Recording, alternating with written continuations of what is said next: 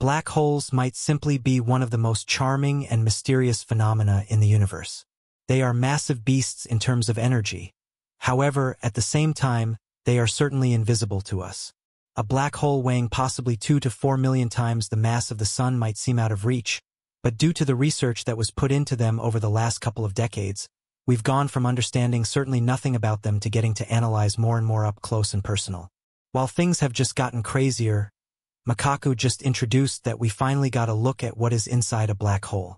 This new information brings light to the details the world of science might have overlooked all along. Join us as we dig deeper into black holes and unveil what is inside. Space is huge, but before we get into the info of what Michio Kaku discovered, we must speak about the basics. Despite the fact that most folks have some idea of what black holes are, there are still a few gaps in the proper information. In 1916, Albert Einstein published his theory of general relativity, which predicted the existence of black holes. At that time, the idea of black holes was purely theoretical. It took another 50 years for the scientific community to discover evidence that black holes really exist. This happened in the 1960s when they were analyzing the Cygnus constellation and saw an oddly vivid blue star emitting X-rays. This star wasn't a stagnant object, but was orbiting a giant black object. Upon further research, it was found that the X-rays were not just moving around on their own but were being sucked into the black object they were orbiting. Accordingly, it was named Cygnus X-1. This discovery was significant because it provided evidence that black holes actually exist and were not only a figment of Albert Einstein's wild imagination. While that was great, it also meant that there was this unreal entity in space that we urgently needed to know more about, so researchers all over the world set to work. Cygnus X1 is located within the constellation Cygnus, about 6,000 light-years from Earth, and it was no small discovery. It's about 14 times brighter than the Sun and tremendously dense, which causes it to have a strong gravitational pull. The gravitational pull is so strong that not even light can escape it. This is why it's called a black hole. The idea of a black hole is both fascinating and terrifying. It's a place in space where gravity is so strong that nothing, not even light, can escape. Anything that gets too close to a black hole can be pulled into it, never to be seen again. However, that point of danger makes it even more important to study everything there is to know about them. Was this it? Or were we just beginning? The answer ended up being the latter. After the discovery of Cygnus X1, scientists started to search for other black holes. They found that there may be nearly 100 million black holes in the Milky Way alone, but because they're so incredibly hard to detect, we still don't have an exact number. Although from the looks of it, there are several million black holes in the Milky Way in our very galaxy. That's what makes them even more important to observe. So let's break it down. The first subject with black holes is always going to be gravity. Their gravitational pull is so intense that something that enters it compresses down astronomically until it becomes a singularity. In simpler terms, Black holes are like cosmic vacuum cleaners that suck everything in. One of the scariest parts about the research that's gone into black holes is the fact that if someone were to fall into one, they would get stretched to the point that they become a single line. This process would happen slowly, and the person would die before the final form truly sets in. So let's just say that no one should be getting into one, but they are all around, so could we just be in danger? Even though the closest black hole to Earth is 500 to 1,000 light-years away, it's still close enough to bring up questions and concerns. In 2021, scientists were able to launch the first clear picture of a black hole, specifically the M87 black hole. This black hole was photographed several nights in a row, and with each photo, the researchers gathered more and more evidence about it.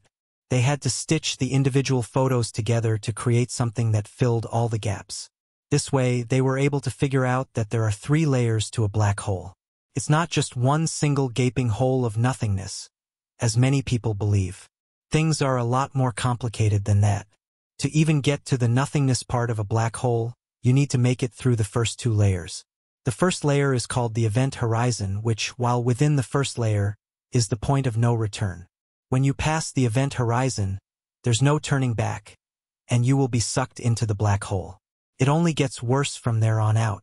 The second layer is the photon sphere, which is the area where light orbits the black hole. Any light that enters this region can be trapped, and will not be able to escape the black hole's gravitational pull. Eventually, we come to the third layer, which is the singularity. This is where everything that enters the black hole gets compressed down astronomically until it becomes a singularity.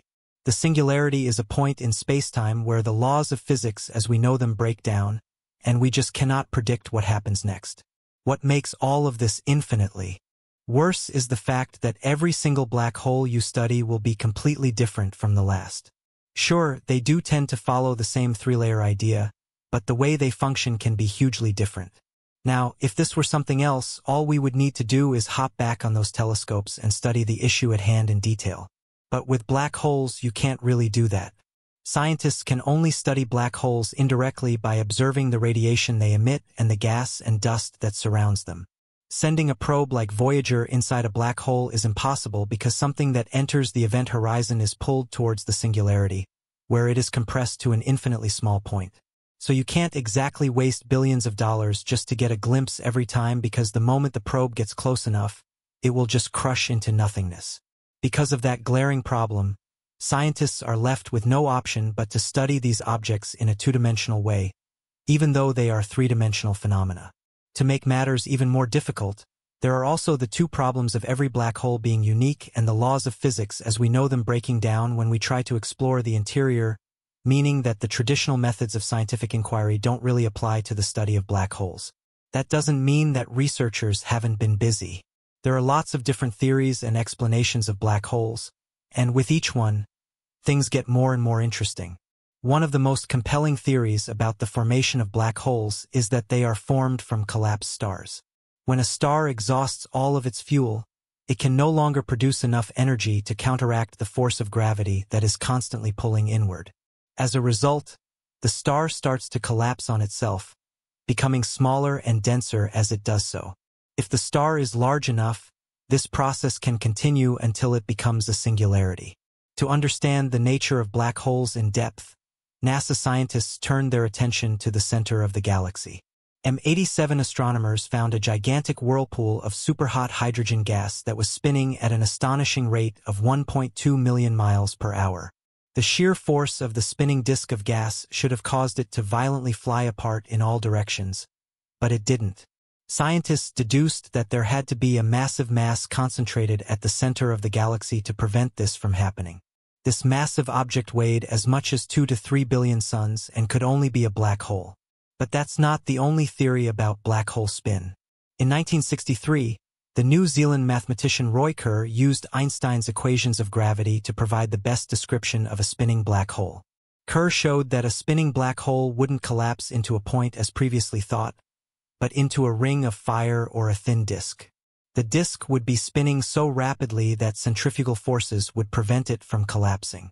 This spinning disk of matter is called the ergosphere, and it's the region surrounding the black hole where the laws of physics begin to break down. But the most interesting feature of Kerr's solution was that it predicted the existence of an Einstein-Rosen bridge, also called a wormhole. This theoretical passage through spacetime connects two separate regions of the universe or even parallel universes.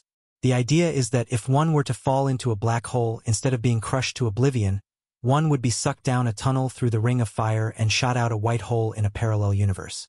To understand how this works, we need to look at the concept of spacetime in Einstein's theory.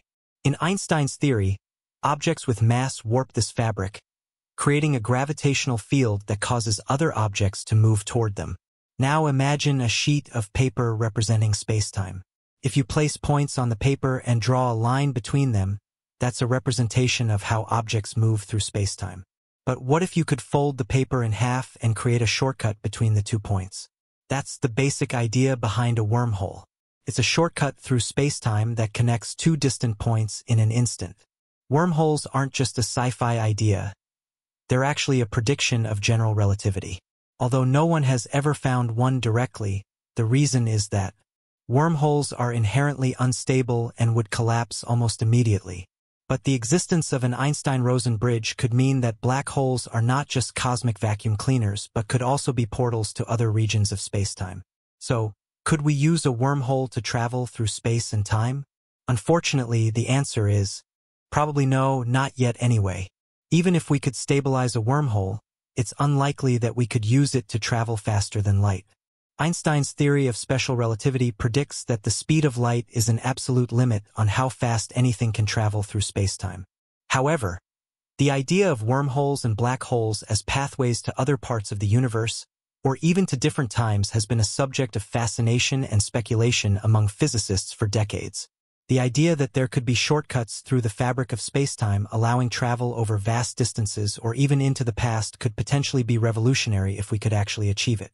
One of the most intriguing concepts in this area of study is the Kerr wormhole, named after the mathematician Roy Kerr who first described it using Einstein's equations of gravity. This type of wormhole is essentially a hypothetical tunnel through spacetime that could connect two distant points, such as two different universes or even two distinct times in the same universe. The Kerr wormhole is often visualized as a ring-shaped portal, much like the looking glass in the tale of Alice in Wonderland. Walking through the looking glass transported Alice to a world where animals spoke in riddles and logic didn't always follow in the same way. Passing through the Kerr ring could potentially transport a traveler to another universe or time where the laws of physics might be very different from those we're familiar with. But the idea of wormholes as a means of interstellar travel or time travel is not only exciting, as we've glossed over before, it's also a topic of controversy and debate among physicists. Some have pointed out that wormholes, and particularly Kerr wormholes, might be unstable or impossible to traverse due to the extreme radiation and subatomic forces surrounding their entrance. Critics argue that Einstein's equations of gravity, which are used to describe wormholes and black holes, only work for gravity and not the quantum forces that govern radiation and subatomic particles. In order to truly understand the nature of these phenomena, a new theory is needed that can unite the laws of gravity with a quantum theory of radiation. Throughout the field of science, this is called a theory of everything, a single theory that can unite both Einstein's theory of gravity and quantum theory. Michio Kaku, who is a renowned theoretical physicist, has been working on a theory of everything for many years. While there are many different versions of what this might be, the only one that has shown promise is superstring theory. Superstring theory unites gravity with the theory of radiation. The theory proposes that subatomic particles are actually tiny vibrating strings and that the universe is a symphony of these strings. Just as different musical notes correspond to different vibrations of a violin string, different particles in nature correspond to different vibrations of a string. One of the fascinating things about superstring theory is that as a string moves in time, it warps the fabric of space around it, generating black holes, wormholes, and other unique solutions to Einstein's equations. This means that superstring theory not only unites Einstein's theory of gravity with quantum theory, but also explains many of the mysterious phenomena that we observe in the universe. But there's something about this theory that really throws a wrench into how simple it might sound at first, but in a way makes more sense too. Superstring theory requires 10 dimensions of spacetime in which the strings can vibrate. This is quite different from the three dimensions of space and one dimension of time that we experience in our everyday lives. It's hard to imagine what these additional dimensions might be like, but physicists have developed some conceptual models that could help us understand. Imagine a two-dimensional pond inhabited by fish that are only aware of the dimensions of length and width. To these fish, there's no such thing as height, and they can't even imagine what it might be like to live in a three-dimensional world.